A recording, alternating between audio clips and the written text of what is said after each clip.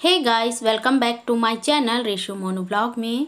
तो गाइस यहाँ पर अभी रात में मैं कर रही हूँ पूरा क्लीन तो पूरा यानी पूरा डीपली पूरा क्लीन कर रही हूँ। क्योंकि रात में ही मुझे टाइम मिला है ये सब काम करने के लिए।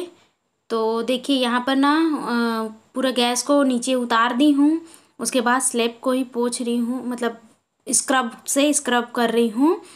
क्योंकि ना उसमें ना काफ़ी मतलब चिपचिपापन आ गया था, ऑयली ऑयली एकदम ज़्यादा ही था तो इसको मुझे करना पड़ा।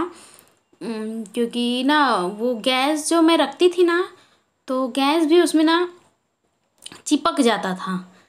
और कुछ भी रखो ना तो मतलब एकदम, हाथ भी रखो ना तो एकदम गंदा सा चिपचिपापन सा लगता था। तो मैं सोची, करना तो था ही मुझे चाहे आज करूँ, चाहे कल करूँ तो जैसे ही मुझे टाइम मिला रात में तो इसको मैं कर ली हूँ। देखिए तो इसको ना मैं दो तीन बार भी करी हूँ इसको। और तब जाके ये पूरा क्लीन हुआ है। और श्रेयांश को देखिए किचन में आ गया है। वहाँ पर मैं गैस चूल्हा को खेल रहा था तो उसको बोली जाने के लिए तो वो चला गया। और ना मेरा इतना ज़्यादा गंदा नहीं रहता है, रोज़ का साफ़ करती हूँ तो। बट ना काफ़ी दिनों से नहीं करी थी करके थोड़ा ज़्यादा गंदा हो गया था। उसको भेज तो दी हूँ बाहर किचन से बट ना वो देख रहा है कि कब मम्मा का काम हो और कब मैं मम्मा को बोलूँ, चलो सोने के लिए। क्योंकि लेट हो गया था ना रात में तो पूरा स्लेब को अच्छे से मैं पोंछ ली हूँ। और उसके बाद देखिए गैस को ऊपर रख दी हूँ।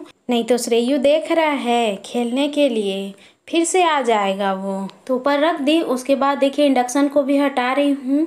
उसके बाद वहाँ पर फिर से यहाँ पर ना मैं बर्तन धोने वाला साबुन में और स्क्रब में, स्क्रबर में उसको अच्छे से स्क्रब करके क्लीन कर रही हूँ। तो इंडक्शन वाली जगह को भी मैं अच्छे से क्लीन कर देती हूँ। कोना कोना में भी तो बहुत चिपचिपापन आ जाता है ना। और मुझे लगवाना है गाइस एग्जास्ट फ़ैन बट अभी हो नहीं पा रहा है। हम लोग का अभी उतना मतलब क्या बोलूँ? बजट का ही है थोड़ा सा तो अभी हो नहीं पा रहा है हम लोग से। लेकिन फिर भी जैसे ही होता है ना तो अपना एक एग्जास्ट फ़ैन लेकर मैं किचन में लगवाऊँगी। नहीं तो क्या गर्मी के दिनों में भी बहुत परेशानी होगी ना? तो मुझे लगवाना ही है एग्जास्ट फ़ैन। जैसे ही देखिए, मिलता है समय मुझे तो जाकर लेकर आऊँगी। और लगाऊँगी, लगवाऊँगी मतलब। यहाँ पर ना जैसे ही मुझे ना देखे, समय मिलते जाता है ना, उस हिसाब से मैं अपना काम करती हूँ।